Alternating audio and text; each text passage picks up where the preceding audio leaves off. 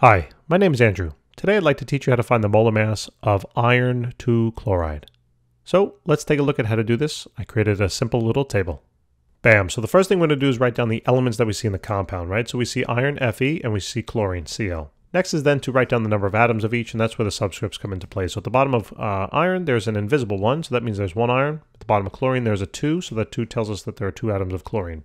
Next, we're going to multiply by the mass of the element. These masses are found on the periodic table. Let's take a look. Iron's mass is 55.85 and chlorine is 35.45, right? So we're going to write those in. So 55.85 for iron, and then chlorine is 35.45. I don't even know. My writing is getting worse and worse. Shouldn't it get better the more you practice? Well, I guess not. So to find the total mass of the element, we're simply going to multiply this row and across. So the total mass of iron here is going to be 55.85. And then the total mass of chlorine, when we multiply those two together, is going to be 70.90. To find then the total mass of the entire compound is very simple. Just add up this column now, and that works out to be 126.75.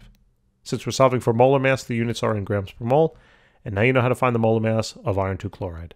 Thank you so very much for tuning in. I really do appreciate it. If you can help us out, like and subscribe, and check out some more of our videos. We've got thousands of videos out there. I mean, uh, chemistry, physics, uh, we got mathematics, we got organic chemistry, we got biology, we got statistics coming out, we got a whole bunch of stuff. Take care.